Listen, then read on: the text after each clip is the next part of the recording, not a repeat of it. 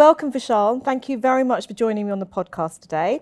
Um, just for our viewers, I wanted to just really give people a bit of a, a flavour of who you are. You're a founder and CEO of Quantexa, the first unicorn in 2023, and so far the only one. Um, and Quantexa is an AI decision intelligence company, so we're going to hear a bit more about that shortly. But what an incredible journey you've been on. You're in 29 cities now. And as a business, you really are making changes that improve society, that improve economic performance. So um, I'd like to start with asking you a very broad question. What does sustainable growth mean to you? Thank you, Bina. And, and look, a huge pleasure to be here with you today. And thanks again for the invite. Um, our two firms have been partnering for a number of years. And um, since I uh, started Quantexa in 2016, uh, as you say, it's been a pretty amazing journey to date. And um, we have transformed industries. Uh, we continue to transform the way people make decisions. Um, and yeah, you know, it's, it's a huge privilege to be um, the CEO of, of Quantexa. from a sustainable growth, I think a lot of organizations, a lot of leaders will define um, sustainable growth in, in different ways. Um, for us, um, I'll go back to some of the key principles of Quantexa about doing the right thing. And you know, if we look at it from a sustainability perspective, you know, we offer um, our platform and our capabilities to clients in all different areas as they make um, decisions. If that's around protecting their organisations, supporting them to optimise their organisations, or even helping them to grow. And sustainable growth for me is to ensure that our clients are growing with our platform, whilst Quantexa take a stance from an ESG perspective and endeavor to be not just carbon positive, um, which is a journey, but to be carbon at least neutral to become carbon positive uh, in the short to medium term. And from our own sustainable growth perspective here at Quantexa, we continue to partner with firms like Altruistiq as well as Ecologi so that we are providing internally a scalable but also sustainable way to continue to grow Quantexa. You talked about transforming your clients' businesses. You talk about protecting protecting businesses, optimizing them and helping them to grow. So could you just maybe share a little bit more for our audience about what it is Quantexa does to create and contribute to a sustainable future? Over the last 20 or so years, um, many people have said, uh, you know, we're on this digital transformation. We're digitizing data so that, um, you know, our front end staff, um, our clients can take better use of their data to ensure they make you know better decisions when it comes down to um, getting new loans, um, you know processing claims if it's an insurance client, or you know catching fraudsters who are uh, defrauding uh, the organisation or the economy itself. Now, that's been a, a, journey for many organizations. And it starts off with the data. The data is the new oil. And that's a, a, cliche, but it's pretty fundamental when it comes down to being able to make those faster, better, um, transparent decisions. So, what we, hear, what we do here at Quantexa is support our clients by putting meaning in the data. What does this data actually mean? How can our clients trust that data? And how we go about doing that is by contextualizing data. If you're looking at a, a data stream or a data source in its isolation, it tells you something. But the absence of data can also tell you something completely different that that one source of information does not tell you. So what we do here at Quantexa, we help our clients to stitch silo data together in a scalable and transparent fashion to empower them to make those better trusted decisions. And today we help banks, insurers, government, healthcare, as well as telecommunication clients to make those better and accurate decisions. I just want to talk about Quantexa and its journey. You became a unicorn in 2023, so congratulations on that. What an amazing feat in an economic environment that we're currently in. But that plays to the business you are. Um, how did that moment compare to any other significant moment in your journey so far? Great question, uh, Bina. And evaluation is a number. And if you let that moment overtake you, it can be quite disastrous. So, fantastic achievement this year. Um, we are delighted to welcome GIC, um, who are an incredible, thoughtful investor. They're an investor that take a much more of a long-term view in their investments. They're an investor which you know have been looking in this market for a leader in this space for many years. And through their research, through their process, you know, we were identified as one of those potential winners. And it's, it's a huge um, moment for the industry that a British tech company uh, founded here in the UK uh, has made unicorn status. But just like with any moment across the last seven and a half years from, you know, when we first presented our platform to one of the largest banks um, um, which was HSBC back in 2017, to the first go live we had of our platform where people were getting that insight and making those material differences. And these are fundamental material differences from capturing fraud to stopping human trafficking, sex trafficking, to supporting organizations in their more corporate objectives around uh, cost, around revenue, to other key milestones like my 100th employee to my, you know, my 10th city opening we had of Quantexa. Um, you know, I, I look at all of these moments and they've all been fantastic on the journey. And God willing, there will be even more of these opportunities and these moments in the future. But, you know, just like with any, um, I'll use an old football cliche, you know, you're only as good as your last game. And, you know, we, we, we celebrate that success we had in April, but it's, you know, that's behind us now. My and the company's view is now we've hit 1.8 billion in valuation. How do we make Quantexa a $10 billion company? And right now, my focus is to continue to deliver on our promises uh, for our clients and our partners and our employees and continue this sustainable growth that we've already had in the last seven years for further years ahead? Every time I speak to you, your ambition is always quite inspiring.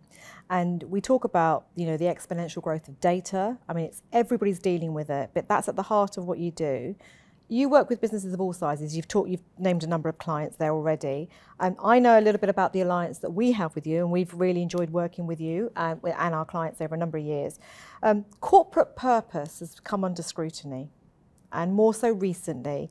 And you have being really clear that your, your purpose is to create a much better world than the one I came into, which I think is a lovely way of cap capturing impact. Um, do you feel you've achieved that or you're achieving that? That is a continuum and it's a journey. Have we started that journey? Absolutely. Are we there? Hell no. There is plenty more to do. There's plenty more I feel that Quantexa can provide.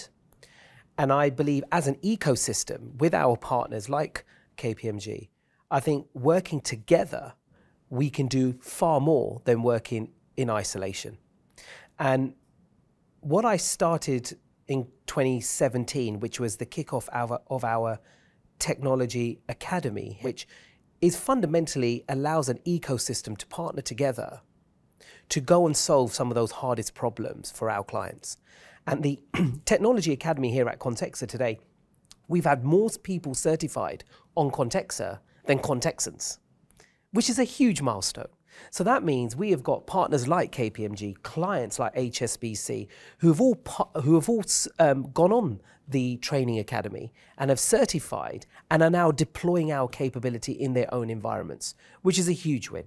But you're absolutely correct, uh, Bina. It is it, this is a journey for Quantexa, and if I can if I can leave both the ecosystem um, and you know other parallels to the ecosystem in a better place than where I started, then I would have done my job as the CEO and founder. Talking about ecosystems, um, we know that government and business have a very important role to play together to improve um, impact, whether it's societal, economic, etc. Um, our Prime Minister recently did give a shout out to Quantexa as being the most innovative technology company that he's come across, which is, which is a great accolade for you. How are you delivering better outcomes in, in partnership with government? We've been partnering with the UK government for a number of years, and we've had a lot of success uh, to date, which could be around uh, fraud detection. Um, so we announced uh, um, a contract earlier this year with the PFSA, uh, which is a continuation contract uh, for the great work we did off the back of the COVID um, um uh, 19. But we're again just starting. Our partnership with the UK and, and very similar to other countries in the world, such as Singapore, you know, we continue to innovate in our platform. We continue to challenge ourselves as well as the ecosystem on, on better ways of doing things. It's very exciting times ahead. Um, you've talked about fraud a number of times in our conversation, and fraud is the most common crime and it costs billions to the economy. Um, do you think businesses are taking that seriously enough? Um, and what advice would you give businesses? So, fraud is not new. Um, and, you know, with any industry, they will be challenged with fraud in lots of different ways. You know, if it's a bank, it could be, you know, scams. It could be around um, customers being duped of their information um, and then being compromised. It could also be, you know, where clients or of, of the bank have um, up fictitious bank accounts and are then defrauding the bank. Um, you know, fraud is, as I say, not new and is definitely you know an area of investment that many industries are doing. Um, if that's in government, if that's in insurance, and so on and so forth. From a C-suite perspective, and from a, a head of perspective in those organisations, I think sometimes the challenge is that we get very hung up in looking at for the golden bullet when it comes down to fraud detection. And I don't think any CEO of any tech firm would say that their technology is the golden bullet. Um, but organizations do need to take that step. They do need to invest into technology, but technology is one component you know, the old people process uh, technology and data sort of framework that many um, ex-consultants like myself will be talking to firms about. Um, it's, it's about bringing all of that together. And you know, if I look at some of the great um, results we've achieved with our clients, is by bringing that journey together around. Yes, I might show you fraud. It might look absolutely clear cut, but if you don't have a process in place to manage that fraud, then I'm showing you something that you don't really want to see. So ensuring you have that process, ensuring you have that policy in place allows technology companies like myself to be successful in A, detecting it, but also stopping it at the front door in prevention. And you know, I've been on this journey for over you know 15 years with organizations where we have gone from the detective way of looking at fraud to stopping it at the front door. And there is a lot of investment right now at stopping it at the front door. Yeah, I think you're absolutely right. I'm, I'm, I'm sensing the move to prevention rather than just uh, sort of facing into what's there. Um, you talk about tackling financial crime, and you did talk about data a little bit earlier. The challenge is trust in the data, and you, you, have said that many times. And what is it telling you? And trust is really important. How do you manage that?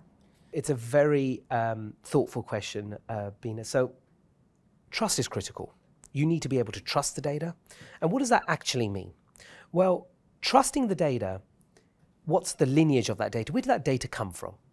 Has it been manipulated? Has it you've taken a different view of that data to before you start your analytics? Have you contextualized that data? So, you know, we've deployed our platform for things like anti-money laundering across the US, across Europe, across Asia, and so on and so forth. Now, with, with those regulators that we've obviously our clients have deployed the platform for, the burden of truth around why did you alert this customer but not these customers? Why you found this to be risky and not this to be risky? What data did you use and can you prove that you've used the correct data as part of your modeling? These are real fundamental things when it comes down to transparency in the data. So, to achieve trust, you need to understand transparency. You need to understand context. And more and more, you need to understand what is that meaning of that data. And so, talking about context, it's quite interesting because a lot of the conversations I have today and that are happening around the boardroom are around AI and specifically Chat, GPT and how do you use the information that is with or without context, right? So, so I think it's a really topical thing in the boardroom today, and I guess it's at the heart of all your solutions too. So, I'd be interested to hear how you feel that's affecting your business, just as much as how you see that affecting your clients' businesses. I would say in the last six months, Bina, I've been invited to probably about seven very large organization board meetings to demystify AI, machine learning, and so on and so forth. And a lot of people, you know, call it AI, machine learning. It's AI. Machine learning is a subcategory of AI. It's AI. So there's been a bit of education, educating the market around AI is here to stay. It's not a fad that's going to disappear tomorrow. It is there with tangible results, with tangible outcomes. If that's, you know, allowing organizations to reduce the time it takes to onboard a client by 80%, or if it's around detecting fraud in real time to finding new prospects to bank within 30 minutes instead of six weeks. These are all outcomes of using the best of AI with context. Now, so that's a, it's been a big disruptor. Um, and as I keep saying to many organizations, we see it in the market that this is something that's here to stay, not here today and, and gone tomorrow. Now, the challenge has been almost a bit about the negativity around AI? Will this take our jobs? Will this, um, you know, how can I explain these decisions? You know, and, and you know, also some some of the scariness around I, I don't know how to use it sort of question. So I don't know how to get the best value of it. And again, you know, some of those things around usability, operationalizing is obviously quite fundamental to getting the value out of AI. But more and more, those organizations that embrace this will see categorically them pulling away from their competition as they are becoming more leaner or they're finding new growth areas that they've never seen before. And we're seeing that within Quantexa.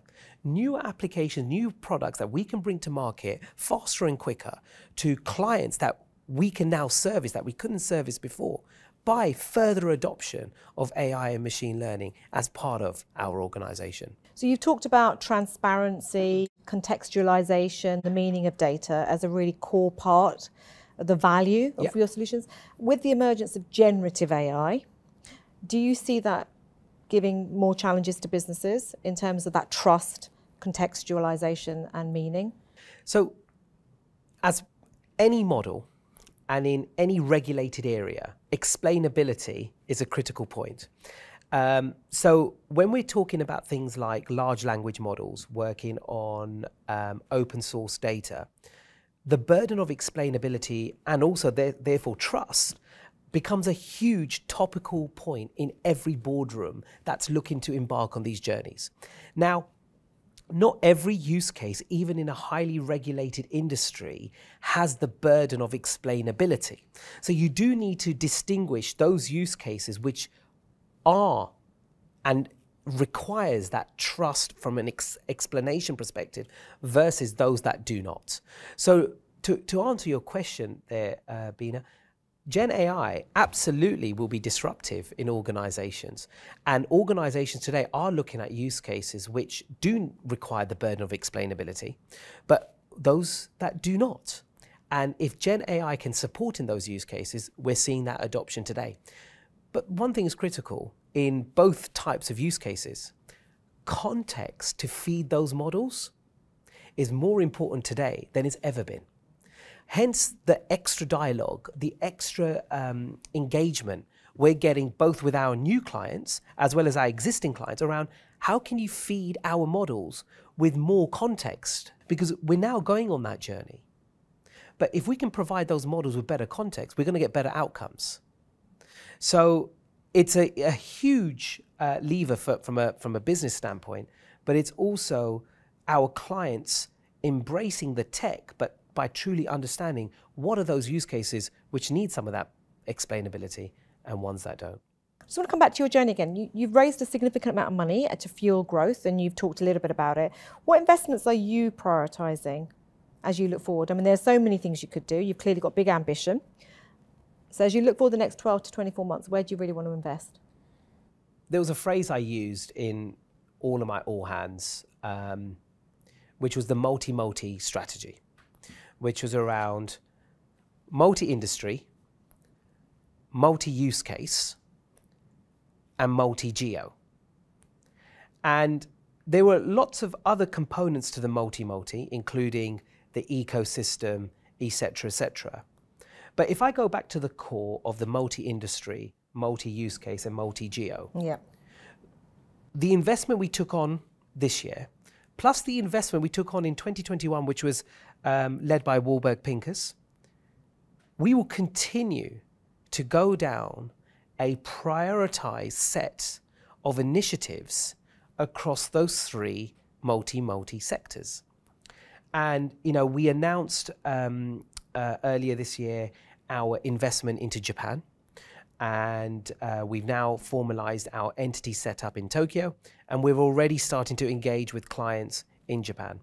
We did the same in the Middle East with our investment in the UAE, and we continue to invest in countries in Europe as well as our existing footprints across the US and, and the, the 28 other cities that we, we work in. From an industry perspective, earlier this year I announced my investment into healthcare. Uh, we continue to invest into healthcare, starting off here in the UK.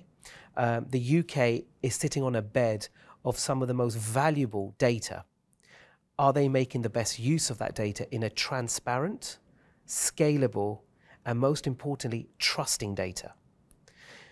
Any platform that provides service back to the UK health service has to ensure that transparency, the ethical use of that data, and most importantly, needs to be a trusting partner to the UK government. We're invested by the UK government. So it makes logical sense of the, the disparate nature of that data. And more importantly, the fact that we have proven time and time again to be a trusted partner to our clients and being transparent in how we use that data. Healthcare was a logical next industry for us to invest in. And, and then the final piece, which is around the different use cases. So, as we bucketed them up before protect, optimize, and grow we will continue to invest in vertical applications across all three. And we're working closely with our partners, such as KPMG, where we've actually taken go to market uh, together. We've taken to market um, use cases such as trigger based KYC or perpetual KYC, where our clients have taken a huge amount of benefit bringing both the expertise of KPMG as well as the technology of Quantexa to catapult their objectives and succeeding their objectives over the last few years. And as you've grown globally, like I love the multi, multi, multi, but as you've multi-geoed, um, grown across sort of different territories, um, I'd like to sort of reflect on what you're seeing around skills. And let's start with the UK. How strong do you feel the skills base is in the UK to support the industry that you're in, for example? From a UK standpoint, the, the UK is a fantastic bed of great talent. Talent in uh, areas like cyber, talent in areas like uh, machine learning, around data science, talent in financial services. Um, it's a huge bed of great talent. And you know, with the current um, administration, the great work they're doing around apprenticeships and the apprenticeship scheme, um, also in supporting organisations like Quantexa to invest um, from an R&D standpoint into the UK, has been great for companies like Quantexa. And you know, we continue to do that and continue to recruit here in the UK. My um, announcement we made a few months ago around our investment of AI in the UK was after a great deal of analysis to ensure that the UK was continues to still be our R&D hub where AI plays a critical role. So it's a great bed. But we also have development centers around the world. Last year, I launched our Malaga um, uh, data analytics hub, um, and that's gone incredibly well. And we continue to invest into Malaga, and we've done the same in parts of Asia as well as in the US. You know, in the US across Boston, uh, as well as areas in Charlotte and so on, we've recruited some great talent to support many of our clients, not just locally in the US, but also internationally as well. Um, so we we've got to continue that investment. The work we're doing in the academy, we've got to continue to do. But this is a lot deeper for me. This is about creating foundational tech. To create foundational tech, we have to go and work with the apprenticeship schemes. We have to work with universities and higher higher level education because that's how you make a fundamental change in society when it comes down to bridging that gap. Um, so that's a big investment for me, and we will continue to do so. So, plenty done. Um, hell of a lot more to do. Uh, but that investment into education here in the UK is really critical for um, Quantexa. I think you've just answered the question I was going to ask you, which is how do we future-proof it? And I think that is right, absolutely. How do you work with educational institutions? How does business work with educational institutions to develop those skills? And, and it's also, we've got to look at the diversity nature as well. You know, we, we continue to see, you know, great talent from a number of universities. Um, not just a select hand few, uh, but we see it across a number of universities. And, you know, if I look at you know the next 10 years as we continue to grow both here in the UK and abroad, ecosystems and partnerships with the likes of KPMG um, and others, if it's in data or in through the hyperscalers, through the partnerships we have with those, bringing together some of those different use cases and some of those problem statements, and working closely with uh, apprenticeship schemes or uh, higher education to solve some of those problems is going to be both exciting but also rewarding for that next generation. You've previously said that one of the great privileges of leading Quantexa is that you get to work with some of the smartest people and more importantly, the, some of the most loyal people, which is a really lovely thing to be able to say as a leader of a business. Um, and tone is really very much set at the top. So I'd like to understand a little bit about your organisational culture and why you think people join you in the first place as much as why they are loyal?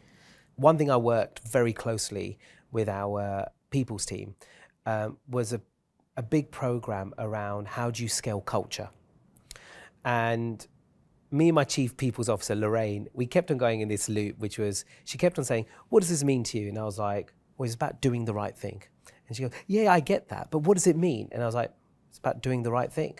So after a number of iterations, we then distilled it down. And then, strangely, we came up with an acronym, or when we sort of unpicked doing the right thing, which was data.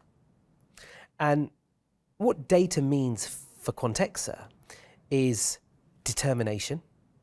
You know, we need to be, as a group, determined to ensure we make a delivery without one of our clients if that's you know delivering a program for one of the largest organizations on the planet between Thanksgiving and Christmas. Um, it's about accountability. You know, I'm accountable to my investors. I'm accountable to my Quantexa team. I'm accountable to my partners. I'm also accountable to all of my clients and users. That accountability is something that I wake up and go to sleep every night with accountability is really uh, critical. The third piece is around teamwork. And that teamwork is not just us here at Quantexa, it's the teamwork with our partners and the broader ecosystem. It's the teamwork between the private sector and the public sector. It's the teamwork that we would have between some of our advisors as well as some of our strategic clients. This is all part of teamwork.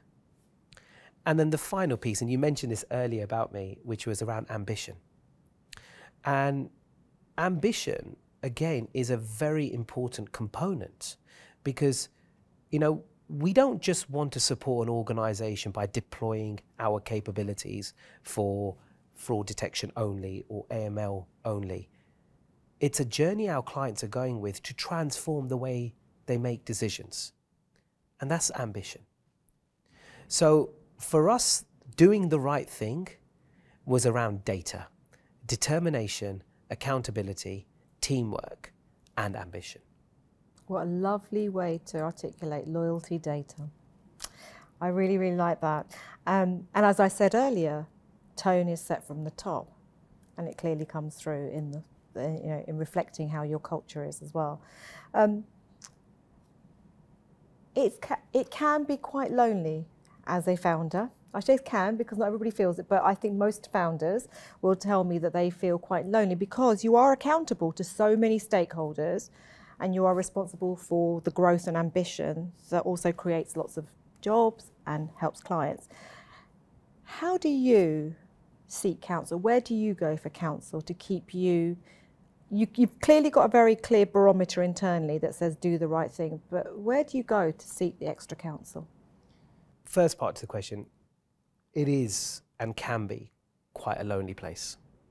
And I think any CEO, any founder CEO, or any CEO, there will be moments in the day, in the week, on the weekend, where you have to make a decision and you've got the most smartest people working for you and they've come up with all these great ideas and they've come with all the pros and cons but it's up to you to make the recommendation and i would almost say not making a decision is far worse than making the wrong decision but this might come a bit strange um, but some of the big leaders in my and inspirations in my life. Um, and one of those, um, I would say, is my dad. You know, dad came from India in 1961 um, with one shilling in his pocket. And, um, you know, he came here in the UK for a better life um, for his family. And, you know, my dad's now 83. And, um, you know, he had a, a cash and carry and, you know, uh, wholesale um, um, shops and so on, which I worked at when I was at, you know, five years old, six years old, all the way up to 16, 17. You know, most kids after school went home. I went and worked for dad and mum um, and mustn't forget mum in that whole process. Mum was the anchor of the cash and carry. Um, she worked six days a week. Um, and, you know, so weirdly, in a very different scale that I run Quantexa, there are some fundamentals of business which are very similar to the cash and carry business. You know, I'll give you an example, right? So when we um, closed Series D, I was delighted. It was remote raise. Um, you know, we hadn't done this before. Um, great firm with Warburg Pincus, great people at Warburg. Um, really delighted, really delighted. Go to my dad. I go, Dad, um, you know, we closed Warburg um, and our Series D, great partner. And he looked at me, that's great news, Vish. Are you profitable yet? You know, it was like, thank you. I love you too. But it was, it was almost taking me back to, you know, when we had the cash and carry, when that unit economics around profitability is critical for a business. And showing the path to profitability is critical. Now, we did have an answer and we continue to drive to that answer. But, you know, there's these parallels where, you know, I take counsel, less so now um, with dad, uh, but, you know, he's definitely been, you know, that anchor behind me. I love the parallel that you've just given there. You know, how you can learn from every experience in your life, no matter what you've done, where you've done, and people around you. You are right. In in life, there's so many experiences, and you know you learn so much every day. So much working with great colleagues like yourself, and you know the, the key thing in business, I've always said, don't be stubborn. If you could go back to your younger self, Vishal, what advice would you give your younger self today, um, and why would you give it? I think it's something I do already but I think it's something I would like to do more. And creating more time in the day for thinking time um, comes a bit back that lonely time that you mentioned earlier, but getting more time in the day. And you know, it's, you know, business is busy. I'm also a husband, a dad, a son, a brother, and you know you have all of these other um, responsibilities, right? So um, getting more time in the day for thinking time, I would almost mandate it, just like I would mandate a client meeting or an investor's briefing or an employee's meeting. I would mandate that time in my diary earlier on. Maybe we'd be in a different place. I think that's such a lovely place to finish. Creating time to think, we all do it. And you did talk about a little bit about that, about how do you make decisions that you don't have to reverse. And the only way you can make those decisions when, you, when you're you know, running against time is to create that little bit of headspace to just think it through, think about the consequences that we don't always have time to think about, and fast forwarding all your experience for others. Um, I'm just going to summarise what I've taken. There's so much in there, so much in there. I won't even try and do the technical pieces, but what comes through right through the core of everything we've talked about is doing the right thing. You started with that. That was one of the very first things you talked about, and it's exactly where we've ended up, right, in terms of doing the right thing. Talk about data, contextualization, really being clear about the trust, the transparency, the meaning, and what you're trying to deliver as an outcome. I think it's always sometimes helpful to remind ourselves that actually have the outcome in mind, not just think about the process or the journey. Because some of the biggest, grittiest issues that we're all facing into cannot be dealt with on our own. We have to do it in partnership, whichever way you look at it, whether it's skills, whether it's you know solutions. So I, I think that's a really core message. And what I absolutely love is data, determination, accountability, teamwork, and of course, it's Vishal Marria, so it's ambition too. Thank you so much for joining me today a huge pleasure being here. Thank you.